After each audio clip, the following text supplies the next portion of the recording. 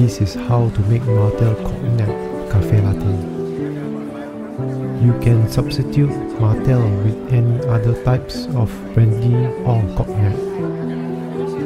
Thank you to Martell Malaysia for sending us a bottle of Martell. Martell Cognac is a type of brandy from France. Let's move to the espresso machine.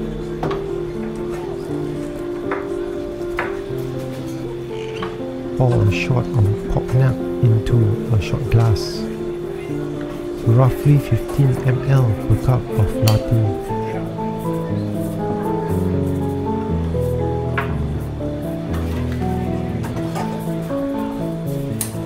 Clean. Wipe. Grind your coffee.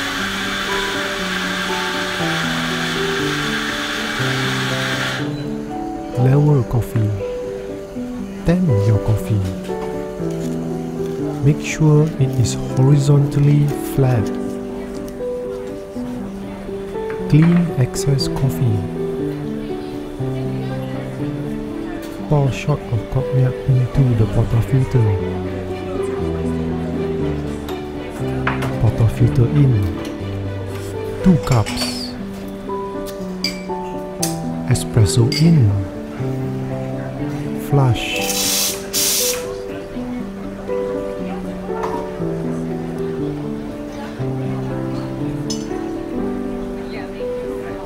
Froth milk. Please support us by thumbs up the video. Click on subscribe and the bell button to see more of our videos. Wipe. Flush. Curious question Do you single or double tap when you flush? Post your answers below in the comment section. Swirl the espresso to ensure even distribution of cognac in the espresso. Frothed milk in cup. I have discovered that by pouring the cognac into the portafilter before the espresso extraction, will result in a smoother and slightly more aromatic espresso. 2 cups of Martell latte done. The espresso extraction is at 9 bar, 92 degrees Celsius, which will evaporate part of the alcohol content. The cognac taste remains even though the alcohol content may be reduced. Goodbye and be subscribed.